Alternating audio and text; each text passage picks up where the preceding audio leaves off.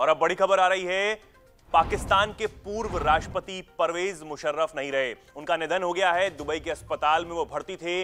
लंबे समय से वो बीमार बताए जा रहे थे, उसके बाद अब उनका निधन हो गया है। ये बड़ी खबर इस वक्त निकलकर सामने आ रही है। इस पर ज़्यादा जानकारी के लिए सीधा चलते हैं हमारे सहयोगी, जो आपको इस पर ज़्यादा जानकारी देंगे शेखर सर के पास। सर, परवेज मुशर्रफ नहीं रहे, पूर्व राष्ट्रपति पाकिस्तान। जी, बिल्कुल, चेतन, ये एक बीमारी बताई जा रही है, अमाइलॉइडिसिस नाम की बीमारी बताई जा रही है, उसी से जूझ रहे थे, जिसके बाद में उनके जो अंग थे सभी अंगों ने काम करना बंद कर दिया था, जिसके बाद में ये ये माना गया कि अब उनकी रिकवरी जो है, उसकी गुंजाइश जो है, वो खत्म हो चुकी है, और इसी को लेकर बताया जा रहा है कि परिवार ने जानकारी दी है कि उनका निधन हो गया है उनकी मौत हो गई है।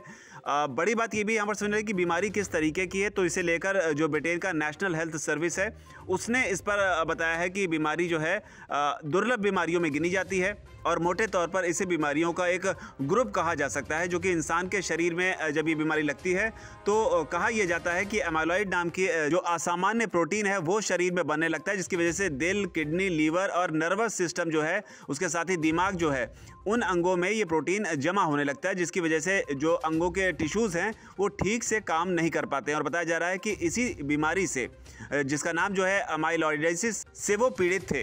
जी तो बहुत धन्यवाद सर। तो ये बड़ी जानकारी यहाँ पर मिल पा रही है। पाकिस्तान के पूर्व राष्ट्रपति परवेज मुशर्रफ नहीं रहे हैं उनका निधन हो गया है।